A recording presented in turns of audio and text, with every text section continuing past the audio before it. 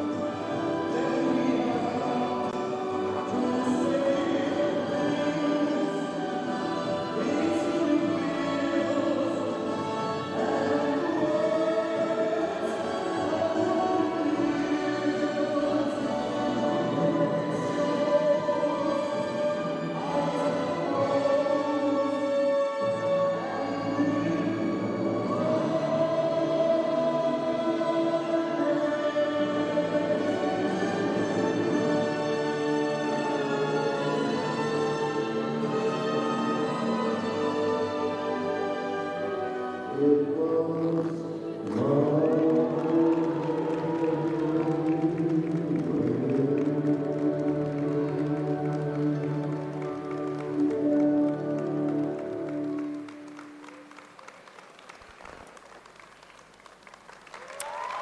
it was the final two jumping passes for Jan Valtera from the Czech Republic, which were his strongest. And hmm. I think, Ted, I could be wrong, but there was a skater with blonde hair like that yesterday watching the women's event right till the end of the evening, sat on his own watching every competitor. And I think it might have been Jan, which says to me this is a skater that wants to learn from this opportunity.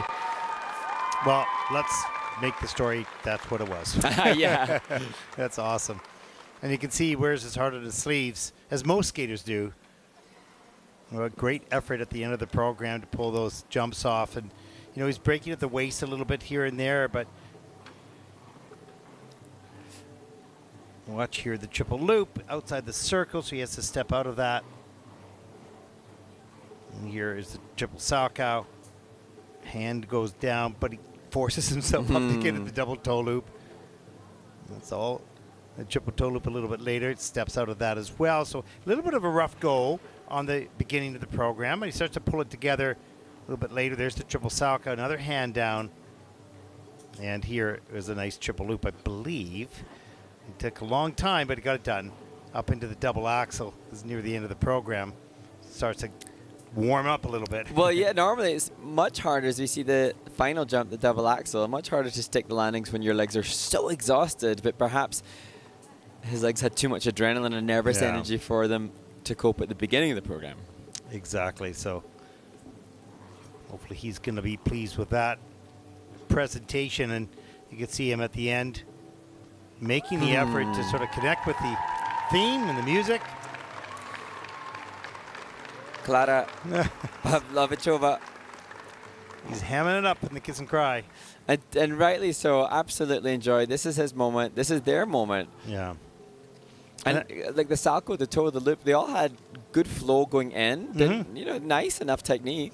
No, it's just the checkout. There's the three major things. You got to learn to take off properly, proper direction, rotate in the air, and then stop the rotation and come back down to earth. But that that third one is the hardest. Yeah. And that's the one where the judges see the most. Biggest impact on the Yeah, GOE. 80.12 for the free program. That's second so far in the competition with a 118.18 mm. total competition score, and that will put him currently into second place.